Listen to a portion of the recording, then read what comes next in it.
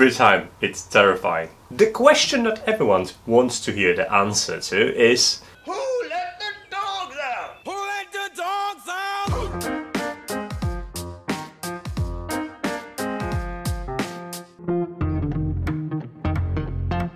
Hey guys, I am a robotics engineer and I'll have to admit my job isn't as exciting because I don't deal with robots like the ones from Boston Dynamics, but we make, well, fancy looking machines for industrial automation, which means from time to time I get to play with robotics arms and once a year I get to stare at very deadly robots during Fight Fest competition.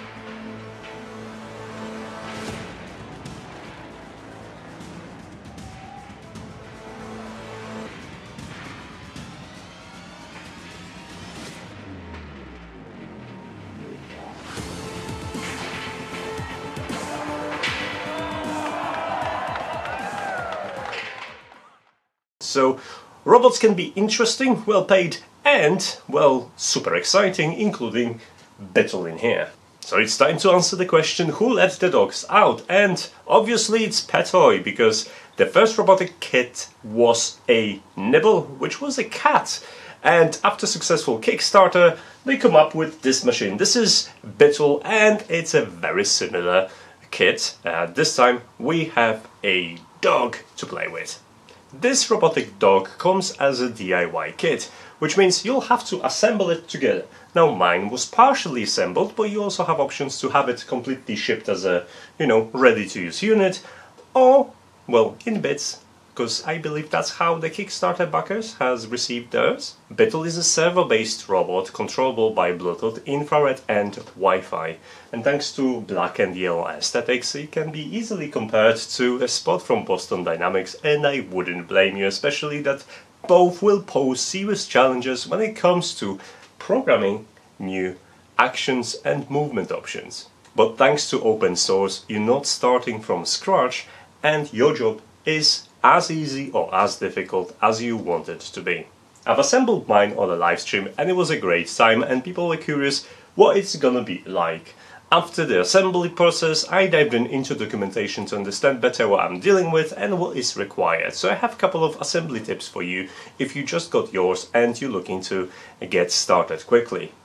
To be frank, it was way too easy to skip the manual for me because of included picture of the exploded robot, so I could figure out which part goes where, and I think that was my first mistake. The instructions are quite decent describing what you have to do first to enjoy the robot quicker than well working aimlessly without any guidance. So do follow them. But if you just want to dive in, don't assemble legs just yet because first go through calibration. And calibration is going to be super important if you want your robots to behave well.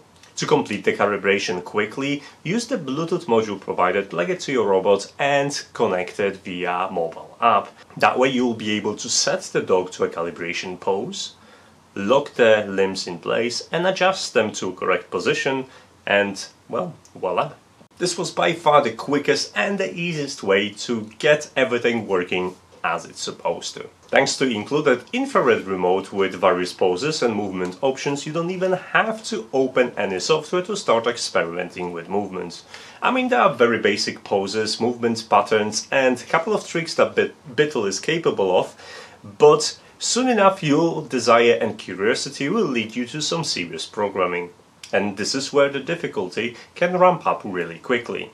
If you don't think you can handle C++ programming just yet, you can open up the web browser and connect Visual Programming Interface from Seeed Studio and program your robot this way. It's going to be much easier to get started and it will allow you to chain different movements, write new commands, etc. This is actually great because, well, thanks to the simplicity of this programming, the uh, entry barrier is very very low while the whole thing can still remain challenging. But if you're not a stranger to C++, then you can jump into Arduino and use open source libraries to start programming new behaviors. And speaking of those big Bittle behaviors, split into the following skills.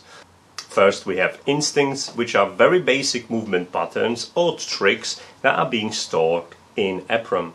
Then we have Newbility, which just like Instinct are responsible for the same tricks or moves, but they are stored in ProgMem instead. That way, a Bittle ecosystem reduces the number of writes to EPROM, which is, well, long-term damaging. Lastly, we have gaits or behaviors, which basically means that we take a frame of a position and we animate it over a period of frame to create either continuous or sequential movements, and those are the building blocks of instincts or newbilities. At first, you're probably going to be dealing with instincts and newbilities. You'll either edit them until you understand the robotics behavior of the quadruped and what uh, needs to be changed in these to have successful behaviors. But once your confidence levels are high, you can start actually programming your own gaits. And this is where everything becomes super difficult because you'll have to manage so many things at the same time to pull off successful movement.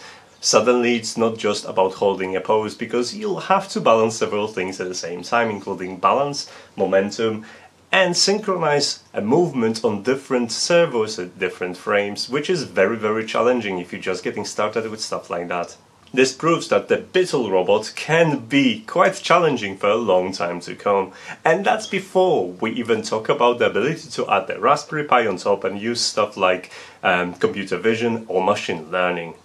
I initially touched on the infrared remote as one of the ways of controlling the robot, but that's not the only way. You also have a Bluetooth interface which you can interact with the app, but that's for the most part works exactly the same way as infrared with, well, the advantage that you don't have to aim at the robot.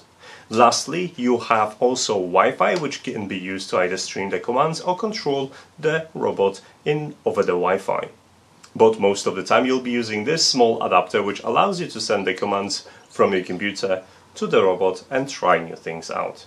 But that's not the only way to teach old dog new tricks. And if you want to add more brains to your Bittle, you can use Raspberry Pi boards.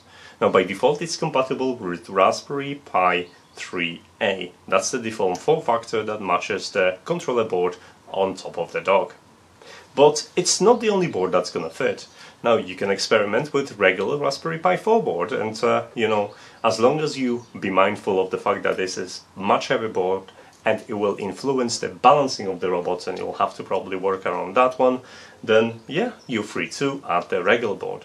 But probably the best board to add to the dog is right now Raspberry Pi 02 which is small weighs next to nothing and have enough brains to actually submit all the data you need and Wi-Fi connectivity regardless of which platform you're going to pick, you're gonna spend days learning this. I'm just getting started and I'm making lots of mistakes and well for the most part the Bittle is misbehaving and no matter how hard I try and how hard I make it work well it's a difficult platform to master and there is no way in hell despite all the hard training by Bittle it will ever compete against the proper fighting robots. I mean it's not what is it made for. I did, however, come up with a bit of a home automation cheating that allows me to control this robotic dog. Can you guess how did I make it happen? Alexa, wake up doggy. Good boy. You wanna say hi to everyone? Hi. Oh, don't be shy, just say hi to everyone. Ah, look at him, it's very, very well-trained dog. What would you do if you see a gun? Like me holding a gun. He would play dead. Hey, come back in here. Because you've been such a good boy, we're gonna let you sleep. Alexa, doggy sleep. Well, I'll reveal the answer at the end of the video. You already know that you'll have to be patient with your Bittle if you want to take it from simple remote controlling toys into an awesome creature with some brains behind it. But that's not the only flaw, and there is a couple of things I would like to highlight. One of the biggest disappointment is the fact that actual kit doesn't come with a Raspberry Pi cover, so if you opt out to use a Raspberry Pi with your Bittle, you'll end up with Bittle running without its back cover. It's a shame because, well, it would look so much neater. If you do, however, have a 3D printer, I'm sure you're going to find some resources online that will let you print something custom and add to your doggy. Second thing, while the beetle itself it's pretty sturdy and tough and survived a couple of jumps from the table, obviously, uh, the head attachment is very weak. I mean, every single time the beetle jumps off the ledge and lands on even carpeted floor, it loses his head. Which is a disappointing, especially to that to mount the head back I'll have to take out the battery and for that I'll have to remove the battery, then fiddle with the attachment system, click it in and then remount the battery again. I wish the head mount was done in slightly different way.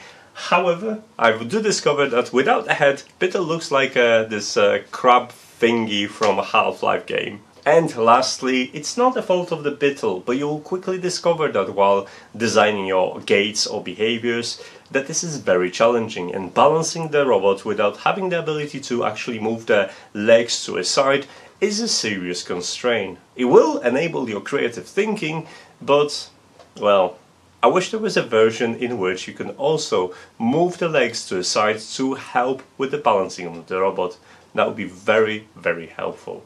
Right, I guess it's time to reveal the secret behind voice and gesture controls of the Beetle. I did mention I cheat a little bit thanks to the home automation.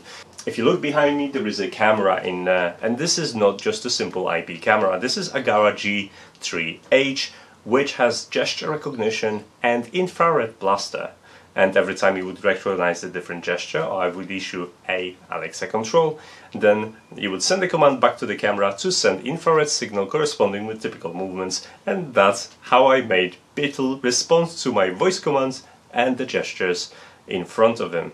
I know it's hardly programming because it's as simple as issuing controllers from the infrared blaster but it shows how flexible these things are and how creative you can get with it. So, if you want to adopt your very own Beetle, check out the description of this video where you're gonna find a link to this robotic fella and the discounts you can get it slightly cheaper. As for now, big thanks for Petoi for sending me this so I could actually had an awesome and terrible time with it. Uh, and yes, I would definitely encourage everyone uh, that is into robotics to give it a go and discover how challenging programming robots can be. As for now guys, thanks so much for watching, I hope you've learned a thing or two, let me know in the comments. And as usual guys, I do not have a posting schedule, so if you want to know what next, then you know how YouTube works, I'm not going to explain you all this. But I have a couple of social media where you usually can find extra content and engage in conversation with me, so take advantage of that. Right, thanks so much for watching, see you next time. Bye! So if you guys are interested and you would like to adopt very... Ah! What are you gonna do?